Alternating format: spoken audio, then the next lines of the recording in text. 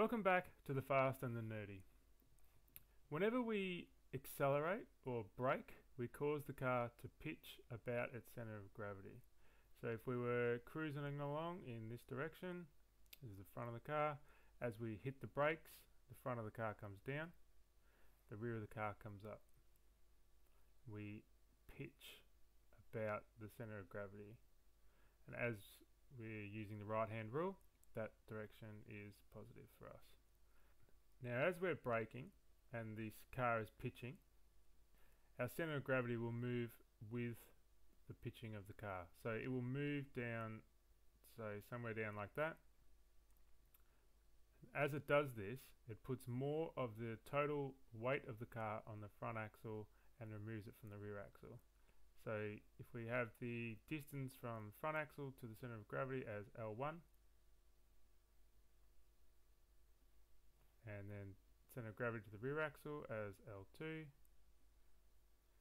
If we wanted to find what is the total weight of the on the front axle, we just put L2 over L. L is L1 plus L2, and then we times that by the mass.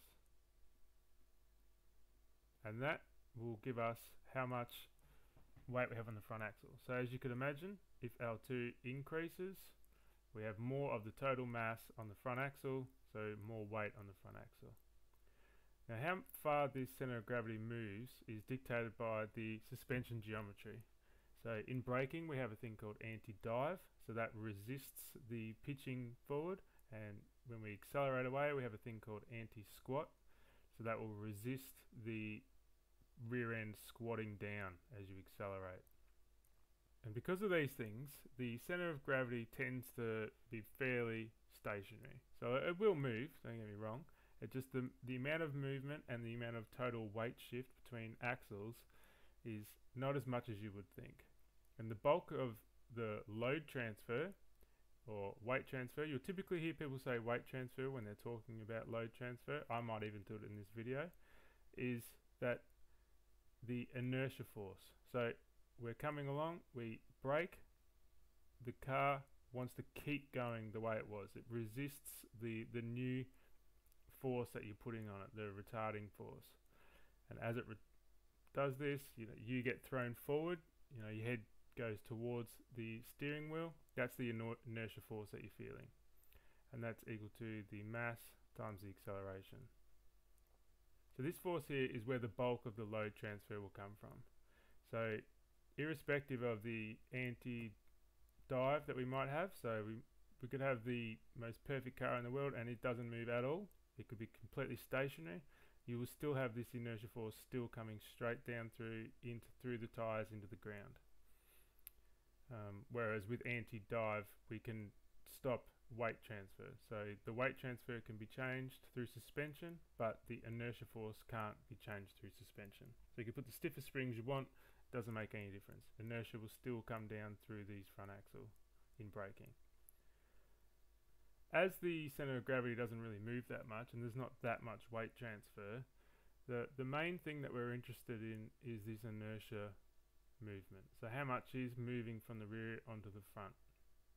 One of the reasons why it's so important to know how much is being transferred to the front axle from the rear is if you saw the thumbnail, you saw the uh, Jeep Renegade, its inertia force was so strong, its braking so strong that the whole rear axle was lifted off the ground. So it's, it's quite high off the ground too. So all of the braking force is coming through just the front two axles, uh, front two tires, which is definitely not what you want.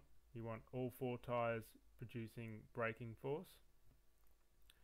Um, the other reason why it's so important is because the amount of braking force you have, the amount of friction you have is all directly related to the weight on the front axle. So we have force is equal to mu times W. W is the weight and mu is the coefficient of friction. So I'm sure you've seen this before when you have a block sliding along the ground. The amount of force it takes to move that block from stationary is the coefficient of friction at static position then there's also a dynamic one but here because we're talking about tires and tyres are made from a viscoelastic material, this mu is a lot more complicated than in this basic model that you get taught at university. So unlike when we have in this model where we can just continue to add weight to it and we will increase the amount of force it requires to move it. Here, whilst adding weight does increase this force, this mu will change. So we have a thing called tyre load sensitivity and a whole bunch of other things going on in between the contact patch, between the tyres and the road. It's an extremely interesting subject and if you'd like to learn more, we have a six-part series on our blog. There's a link to it in the description. But due to the this equation here and the amount of weight we have, that's directly proportional to not only the grip, or well, the grip as well as the braking. So when we brake, we can brake, we'll be braking harder on the front axle as we shift the load to the front. So we've got a lot more weight coming down here than we do here. So there's a lot more potential for braking force here. More braking force means more heat, and that's one of the reasons why we have larger rotors on the front axle than on the rear. The other thing, uh, some other things that we have going on when we're braking, or even accelerating, is that we have a aerodynamic load, or a drag force coming in and hitting the car. So as we're moving through the air, it's got to come up and over the top. It, some of it will get stalled, some of it comes in here, goes around the motor, some of it comes down here,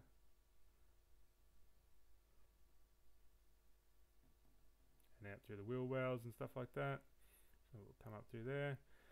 And as we do this, we're sort of pushing our way through the air, and this creates a, a drag force on the car. So it's slowing us down. So as we're accelerating. But when we're braking, it adds with our braking. We also have a couple of other things that we're going to look at today. So we have a rolling resistance. So that's the uh, part of it comes from the deformation of the tires. Um, again, check the link in the description if you'd like to learn more about rolling resistance. Uh, we also have a trailer, so we're going to put a hitch on there. And we could also be going up or down a hill. And all of these will be directly impact the amount of load transfer between the two. Uh, one other thing that the aerodynamics adds is either lift, so typically a car as it travels through it will sort of get picked up uh, unless you've got a front splitter or some sort of aero device that creates downforce, your car will usually pick up or down, and same with the rear. So that will be taking more weight from the front and the rear off the, the axle. So all of this comes into play and is all extremely important to know when we want to work out what's our braking capacity or accelerating capacity, etc. So if we want to size tyres or braking systems, we need to understand what's going on in, in the car. Today we won't be getting into the the um, lift and downforce, and we're just going to sort of breeze over what's going on with the drag and the hitch and the hill and what you know all these different other things and inertia as well. Um, we're going to save those for a later video, but today we're just going to be more looking at the basics. So let's get into it. So the first thing we want to do when we um, are calculating load transfers is to draw a free body diagram. So I've gone ahead and done that here. Um, we can see the total vehicle weight is W. It's coming down. We've got the center of gravity location. We've got the inertia.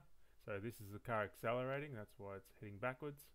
Just remember that this goes through the center of gravity. It just um, didn't have the, enough room around there. It's getting a bit busy.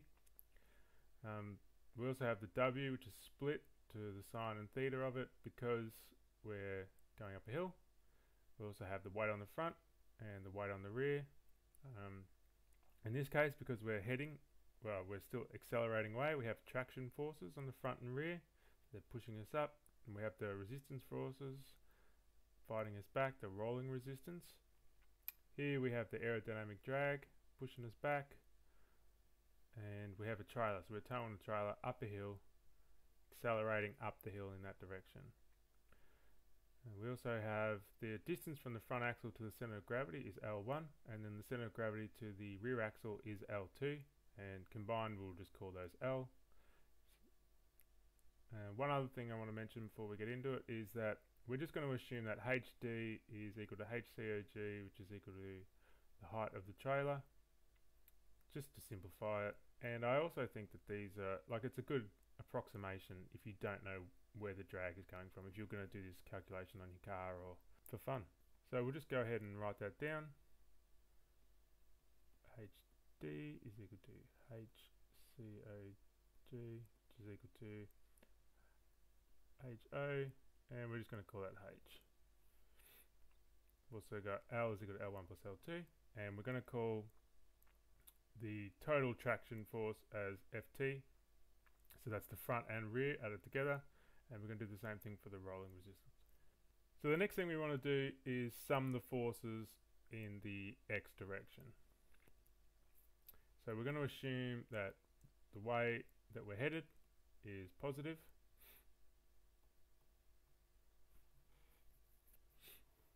So if we remember force is equal to mass times acceleration. So if we rewrite that as mass times acceleration is equal to the traction force because that's positive. So we'll chuck that out the front. And then we minus the aerodynamic load. We also have the rolling resistance we have W sine theta and we have the trailer.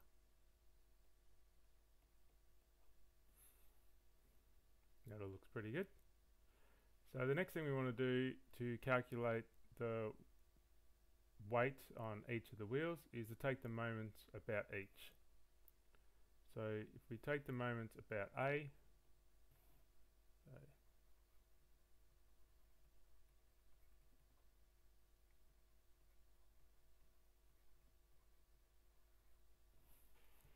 So we have WR, which is going positive, the right hand rule. So we're going to assume that this is positive. So we've got WR times L, L1 plus L2.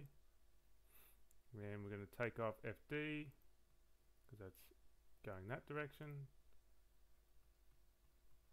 And that's times H. And we have the W sine theta, which is also going negative.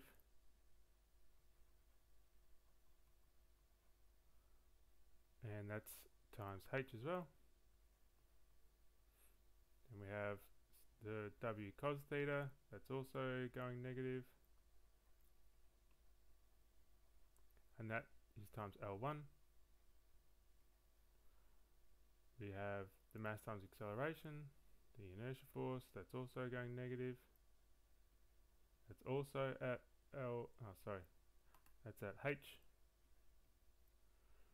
And the other one is the trailer.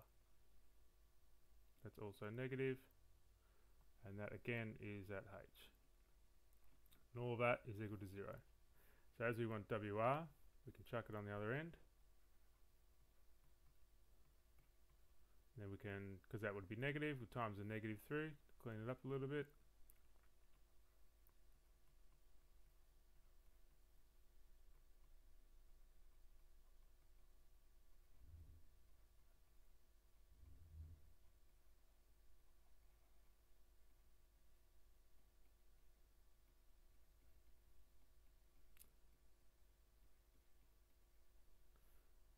So this is aerodynamic, this is a trailer, handwriting's a little bit messy. Uh, we can rearrange this a little bit just to make it a little bit easier. So if we pull the W cos L1 out the front,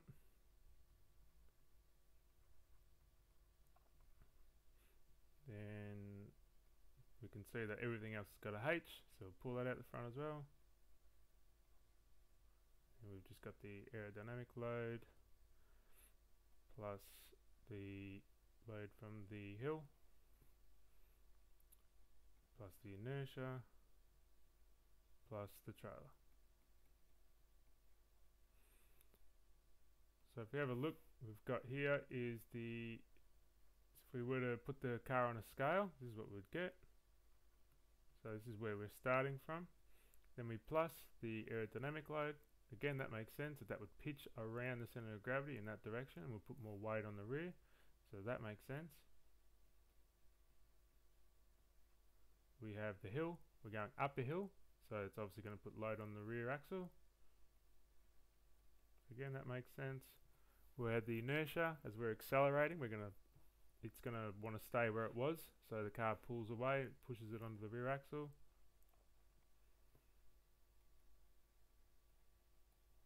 And then we're pulling a trailer. And that's obviously going to drag us back. So we can clean this up a little bit. Some people like to write it to use what we've got up here. So if we rearrange this to ft minus fr is equal to ma plus fd plus w sine theta plus fo. We can see that that is exactly the same as what we've got here. So some people like to write it, go one step further.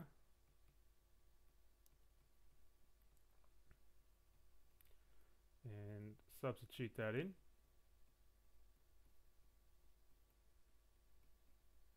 Which makes it a little bit cleaner. But I prefer it this way because then you can go through and just go, oh yeah, that all makes sense.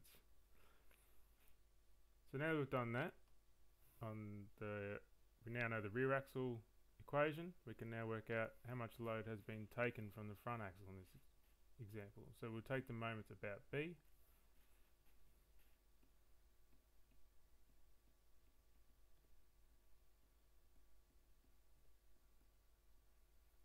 And again, we do the exact same thing. So we have WF times L, that's going to be negative. We have FD, that's negative. The aerodynamic load, or the drag, sorry. We have W sine theta, that's negative.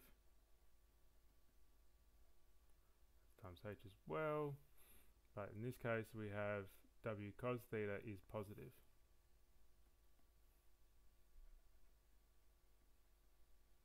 And that's times L2 this time.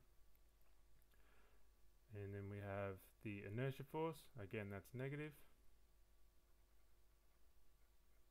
And we also have the trailer. And again, all that's equal to zero. So again, we're going to chuck this one on the other end.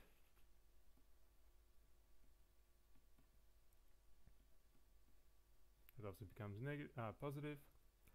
And then we're going to clean it up. So we're going to put W cos theta at the front. Minus FDH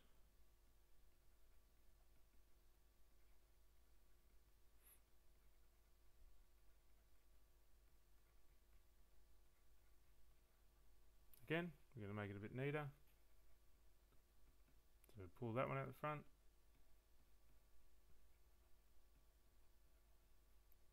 And then we've also got a minus sign all the way through, so put the minus at the front. We've also got the H.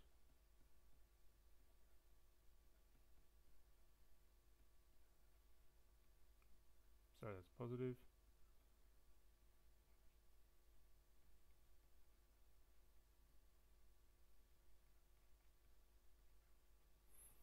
And again, so we've got the front axle, we're accelerating away, so we have the initial weight. Then we have the aerodynamic load is getting taken off it, that makes sense. We're going up a hill, so again that makes sense that it gets removed. The inertia force is getting pulled back, that makes sense and we have the trailer pulling it all from so we're everything is pitching away so we're taking a lot of weight off the front axle. So that all makes pretty good sense.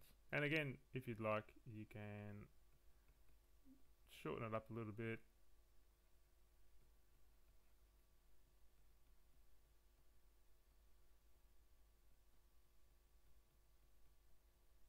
So you got the tractive force minus the rolling resistance here. Sure looks pretty good. So now we've gone through that, we'll have a quick look at braking and then we'll go through a little example. So here we are with a braking example. Um, you can see up here the free body diagram, we've just changed the traction force to a braking force. So on the front and on the rear. And we've moved the, we've changed the inertia to go forward. It wants to continue where it was going, but we're coming back. Up here I've just put the uh, things we already know, so the heights, the L1, L2, braking forces equal to front and rear, and the resistance forces front and rear. We've also got the forces equal to MA, and we've got a little equation, a uh, little example, sorry. But before we get into the example, we'll just uh, take the moments about A. I'm not going to go into this one again because it's the exact same process. I'll just write it out.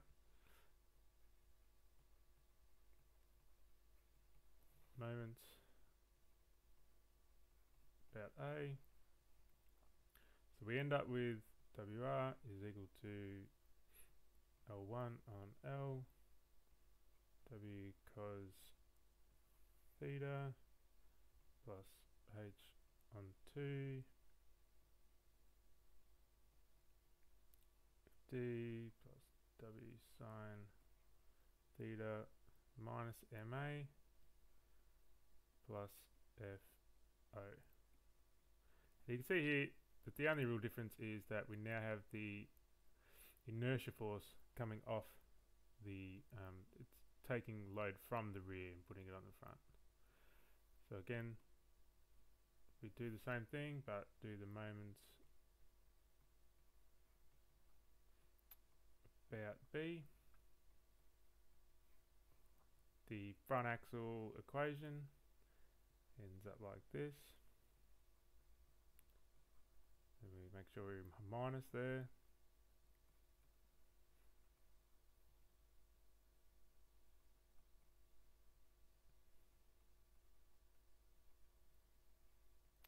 minus MA, so minus and minus is positive, so we're going to add load onto the front from inertia. And again, if we go through it, it makes sense. We've got the weight, the initial weight. We have a drag, which is going to pitch pitches back, so it's taking it off the front. Again, we're going up a hill. Uh, the inertia, throwing it onto the front makes sense. And a trailer again, taking it from the front. So that all makes sense. Uh, one thing I just noticed is that that shouldn't be a 2, should be L. Getting ahead of myself, we've got 2 meters as the uh, total length. So we'll wrap this all up with just a quick example. Here we have L1, so the front axle to the center of gravity is 0.8. The L2, center of gravity to the rear axle, is 1.2 meters. The mass is 1200 kilograms. The height of the center of gravity, as well as the aerodynamic load and the towing point, is 0.5 meters. And we're deaccelerating, so we're braking at 1g. Um, there is no incline, so we're going, we're not going up a hill. It's nice flat ground we have a, an aero load of 40 newtons and a trailer load of 30 newtons. So before we get into it, let's just have a look at what the original weights were so we can see how much we're losing. So we have WR is equal to L1, which is 0.8. Divide that by 2, which is 0.8 plus 1.2. And then we just want the mass. So times it by 1200 and now we have 480 kilograms. And then on the front axle do the same thing. This time we just swap out 1.2 for 0.8 times about 1200 you can see I like to I like to do brackets for multiplication.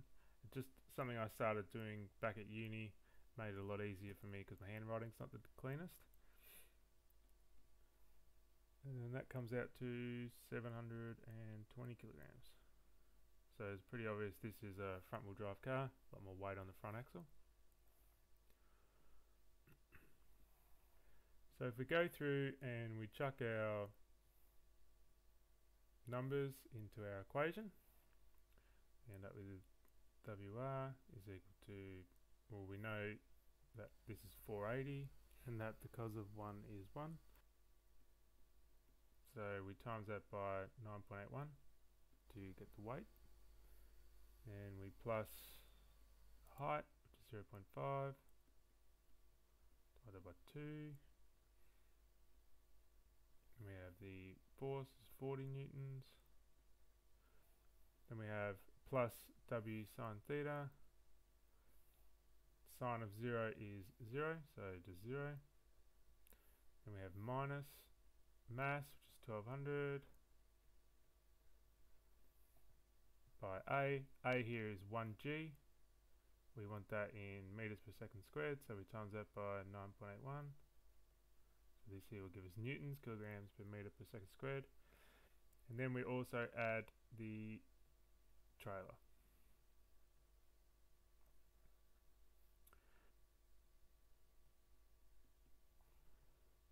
To four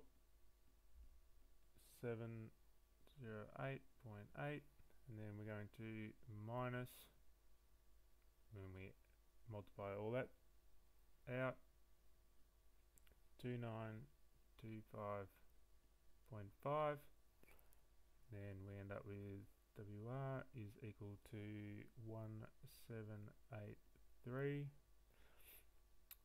getting pretty precise divided by 9.81 and we get 181.78 kilograms. So we can see here we've lost just under 300 kilograms. So where did that 300 kilograms go? Onto the front axle. So we could go through and chuck it all in, or we can just add it on. So we can get 720 initial and then we can just plus the 480 minus 181.78 this equals 1018.216 kilograms. So as you can imagine what we lost here we gained here. So that's it for today I hope you enjoyed it if you did give it a like um, make sure you subscribe. We've got plenty more videos coming up. A lot more realistic examples than this. We'll be also going to other things like lateral transfer, uh, anti-dive, anti-squat. Yeah, having some fun with it. Hope you have a great day.